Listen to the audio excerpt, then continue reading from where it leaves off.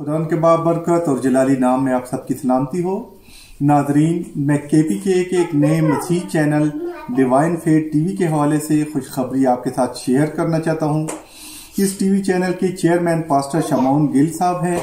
ये चैनल अभी तो यूट्यूब पर और फेसबुक पर आप देख सकते हैं, लेकिन जल्द ये सैटेलाइट पर आप लोगों के लिए अवेलेबल होगा।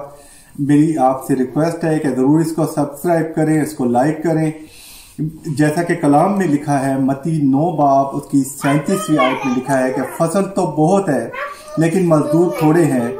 बस खुदा से मिन्नत करो कि और मजदूर भेज दें। मेरा ईमान है कि डिवाइन फेड टीवी बहुत से लोगों के लिए निजात का पैगाम बांटने में मददगार साबित होगा और यकीनन एक और मजदूर का फ़सल काटने के लिए इजाफा हो गया है। God bless divine fed TV God bless pastor Shamoon Gill